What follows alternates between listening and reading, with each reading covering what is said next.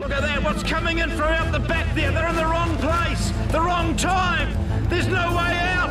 They're gone. The Wild West Coast is living up to its reputation. But this hasn't deterred rowers in the annual Piha Big Wave Classic.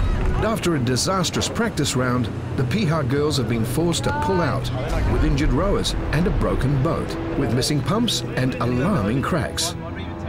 That seemed to be spreading, but never one to crack under the pressure is commentator Peter Brown. Okay, let's see how the women crews are going to go.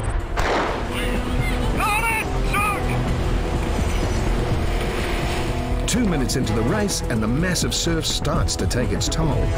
Mairangi Bay. Oh no, that's it. Back to the east coast.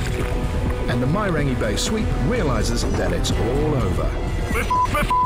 That's Mairangi Bay abandoning their ship. Go on, get out there, boys. Make sure they're okay.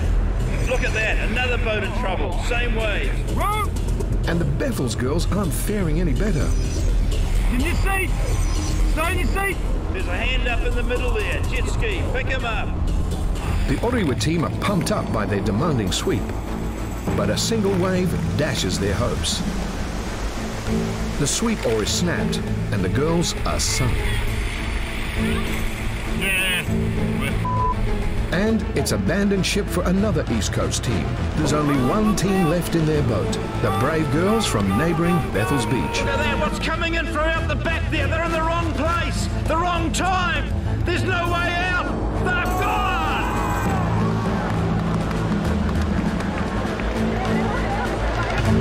Available rescue craft is on the scene in seconds. And the Bethells boys race to save their boat and their girls. Their hands up, guys. Go, go, go. Hands up everywhere. Without a crew, the Bethells boat is at the mercy of the Piha surf and is already on a collision course, heading straight for the looming Lion Rock.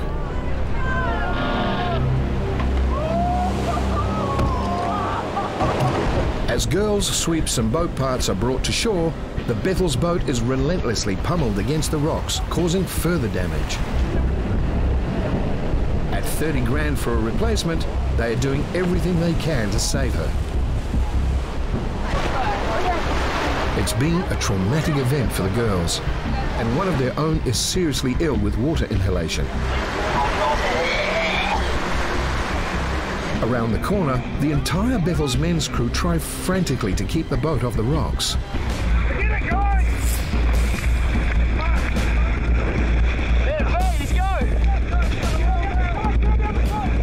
Bethells men aren't giving up, and although they're going nowhere, they just won't let go. Try to get around! Come on, go! Go! If the guys can keep the boat off the rocks just long enough, the jet ski can tow it back to shore. Crew member Kirsty is still feeling the effects of her ordeal, and Sean isn't buying her claims that she's okay. Kirsty may be out of the water, but the water, it seems, is not out of her. If you can hear a hissing noise when she breathes, there is the potential for further serious complications.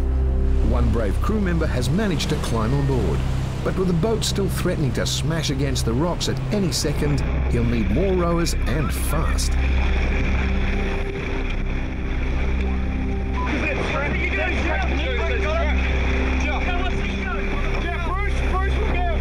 Lifeguard Bruce has swum out to help out his West Coast friends.